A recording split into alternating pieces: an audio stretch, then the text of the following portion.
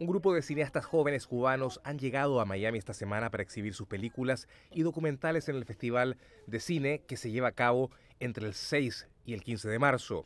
En sus trabajos muestran su particular mirada de la ficción que suele mezclarse con hechos trascendentes de la historia de la isla. El realizador Carlos Machado presenta la gran obra del siglo, que habla sobre la instalación en la década de los 80 de un reactor nuclear en la provincia de Cienfuegos. Yo no soy de esa generación, o sea, yo no viví ese optimismo desmedido que tanto daño le hizo a Cuba, ¿no?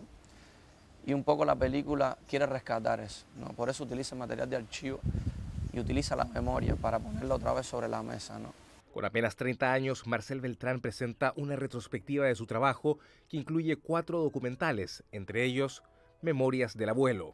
Yo siento que como, como, rasgo común entre todos nosotros está quizás el hecho de revisar la historia, pero revisarla desde eh, lo ya aprendido, ¿no? O sea, ya están las historias de los abuelos, las historias de nuestros padres y luego están nuestras historias y bueno, y, es una confrontación, digamos, con lo que se ve expresado en los medios y con lo que tú confrontas diariamente en tu realidad.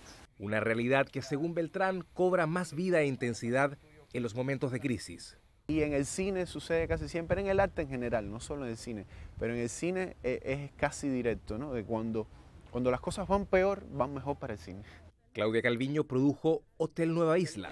Del pueblo de Cuba de levantarse. La película cuenta la historia de un hotel que en la revolución convirtió en un albergue para personas sin hogar y que años después está en ruinas. Son unos personajes que de alguna manera están en ruinas también. Estos jóvenes realizadores hablan con franqueza sobre la nueva era de restablecimiento de las relaciones diplomáticas entre Washington y La Habana. Creo que va a ser un paso definitivo eh, sinceramente, Cuba está en un país, Cuba es un país que está en, crisis desde hace mucho tiempo y necesita, la gente necesita trabajar, la gente necesita eh, subsanar sus necesidades básicas. Todavía no tengo ninguna expectativa. Estoy también que no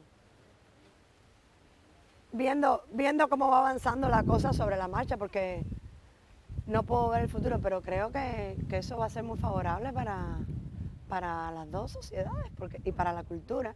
Los cuatro cineastas cubanos estarán en la ciudad hasta el 15 de marzo y durante ese tiempo mostrarán sus trabajos en distintas salas. También tienen previsto dictar varios talleres y conferencias.